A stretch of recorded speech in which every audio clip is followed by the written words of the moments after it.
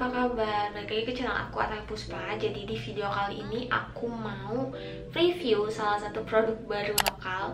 Lokal tuh emang bener-bener suka ngeluarin produk baru di awal tahun. Jadi aku juga kayak bingung nih mau mau, mau review yang mana dulu gitu loh. Nah jadi di sini aku mau review complexion terbaru dari brand lokal Aku mau review salah satu cushion terbaru dari Lux Crime. Jadi namanya Second Skin Luminous Cushion. Nah kalau misalnya kalian penasaran, keep on watching. Nah jadi untuk boxnya itu kayak gini. Dia lumayan agak besar untuk bagian box. Terus pas kalian buka Itu kalian udah dapet uh, case-nya, case cushion dan cushionnya. Tapi di box segede ini kalian nggak dapet refillnya gitu. Ini dia case cushionnya. Aku suka banget sih sama warna sama gambar yang ada di cushion Lux Crime. Lux Crime itu sama kayak powdernya sebenarnya aku kasih tau ke kalian. Nah ini untuk cushion Lux Crime dan ini untuk powdernya Lux Crime. Jadi uh, si patternnya tuh sama tapi sebenarnya warnanya tuh beda banget. Untuk yang powdernya dia agak sedikit warna hijau tua gitu dan untuk yang cushionnya agak lebih muda sedikit. Nah oke kita balik lagi ke cushionnya ya. Menurut aku packaging dari si cushionnya aku suka banget. Kenapa? Karena dia bentuknya kotak dan tipis kalian bisa lihat ini tuh tipis banget menurut aku. Dan di dalamnya kalian udah punya kaca yang masih pakai shield. Terus ada puffnya puff cushion. Dia puffnya lembut banget juga. Dan pas kalian buka ini kalian masih ada shieldnya gitu. Aku suka packagingnya tapi untuk pemilihan apa ya namanya pemilihan material untuk cushionnya tuh agak sedikit ringkih menurutku.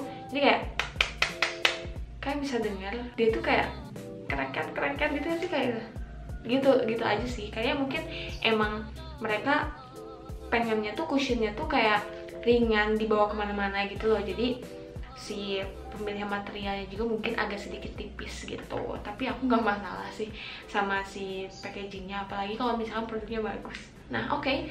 untuk selanjutnya aku mau buka si cushionnya jadi ini tuh ada tulisan gitu kayak you got an A plus in looking gorgeous gitu kan si cushionnya terus aku buka. Ini aku di shade yang honey ya.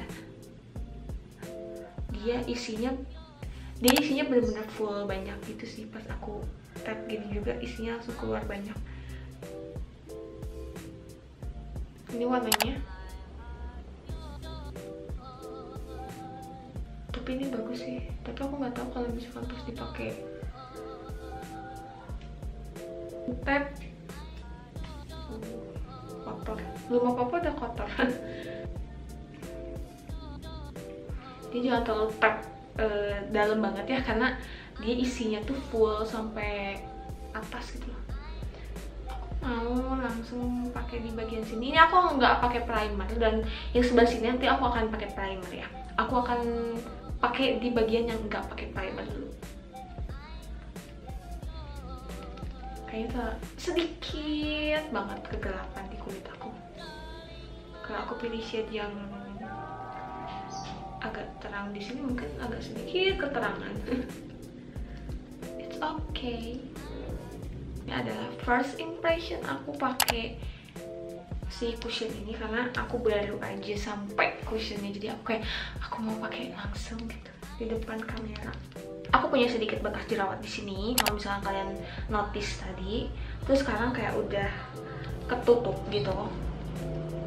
Oke untuk pemakaian sebelahnya kayaknya warnanya agak pas sih di aku. Semoga aja ini nggak oxidize ya. Jadi warna ini tuh udah cocok banget di aku udah pas banget.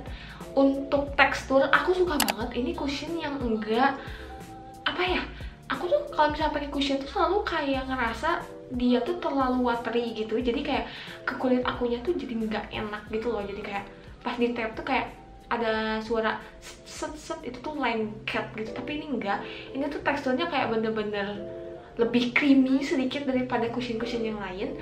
Aku suka banget. Dan dia langsung kayak nutupin bekas jerawat aku juga ini gak kerasa berat sama sekali. Kamu gak akan ngerasa bahwa kamu pakai cushion atau pakai foundation di atas muka kamu. I love it. Oke untuk yang di sebelah sini aku pakai primer. Aku pakai primer yang untuk uh, pori-pori. Dan aku mau pakai langsung. Coveragenya menurut aku medium to full. Kalau misalnya kalian mau build lagi ke full dia bisa banget sih bekas jerawatnya udah hilang oke untuk kiri kanan aku udah pakai. Sejauh ini tidak terlihat oxidize di muka aku sejauh ini. Dan ini juga yang sebelah sini udah agak sedikit mengering tapi nggak oxidize juga aku suka banget sama hasil dari si cushionnya karena dia kan cushionnya itu teksturnya tuh lebih ke krim sedikit lebih padat. Jadi aku suka banget pas diaplikasiin dia nggak kayak nempel-nempel ke puffnya lagi. Jadi pas udah diaplikasiin tuh dia udah tetep aja di muka aku di kulit muka aku. Terus aku mau set pakai powdernya dari Lux Creme juga. Kalau dua ini di, di satuin dikomboin gimana gitu hasilnya kan bagus banget. Tapi nanti juga aku akan uh, tes di lain video aku akan tes nggak pakai powder Creme ya. Tapi hari ini aku mau set pakai powdernya Lux Creme untuk di bawah matanya aku mau pakai pizza puff untuk powder Lux Creme-nya aku pakai yang buttercream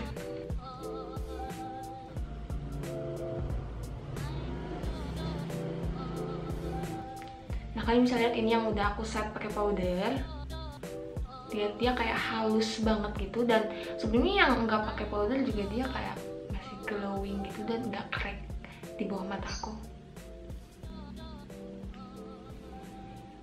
Aku selesai set untuk daerah bawah mata dan aku mau set seluruh wajahnya pakai brush. Wah aku ngerasa pakai cushion sama powdernya jauh jauh jauh jauh jauh jauh, jauh lebih bagus lagi untuk ngesetnya parah.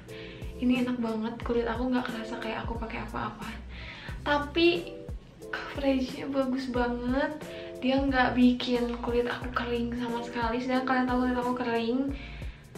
Dan hasil dari cushion dan powdernya juga bagus banget. Ini karena first apply ya nggak tahu nanti udah beberapa jam aku pakai. Bagus banget. Pokoknya hasil dari cushion dan powder Lux Creme-nya aku suka banget untuk first apply. Dia cakep banget warnanya. Ini warnanya masuk ke skin tone aku. Semoga aja dia gak oxidize nanti aku akan update lagi ke kalian kalau misalkan si cushion ini oxidize ya. Aku sekarang tuh mau wear test. Mungkin wear test 6 jaman gitu aku gak akan sampai 12 jam. 6 jaman aja kayaknya aku akan benerin dulu makeup aku nanti aku akan balik lagi ya. Halo semuanya aku mau update. Jadi aku lupa banget tadi aku ngasih tau ke kalian Aku first apply itu jam berapa sih? Tadi aku first apply itu jam 10 pagi. Terus selesai makeup itu jam setengah sebelasan. Dan sekarang udah jam 16.22 Berarti sekarang jam setengah 5 sore. Dan aku udah pakai cushion ini tuh sekitar 6 setengah jam. 6 jam pas kayaknya Karena makeup aku selesai jam setengah sebelas. Oke okay, 6 jam pas. Dan surprisingly ini enggak oxidize sama sekali. Mungkin memang ada bagian beberapa yang crack di bagian smile line dan di under eye aku. Ini under eye aku crack lumayan sih. Kayak udah hilang gitu dan di bagian hidung. Aku agak sedikit berminyak di bagian hidung tapi dia enggak hilang gitu loh. Kalian misalnya ini berminyak di bagian hidung aku ini nggak hilang. Terus di bagian yang lainnya juga ini masih kayak biasa banget gitu. Terus tadi aku masak makan tidur karena aku di rumah saja masak makan tidur nonton. Itu aku nonton tuh nonton drama tuh sampai sedikit agak nangis. Tapi masih nggak nggak kelihatan bahwa ada bekas tangisannya gitu juga enggak terus ini bagus sih untuk pemakaian 6 jam.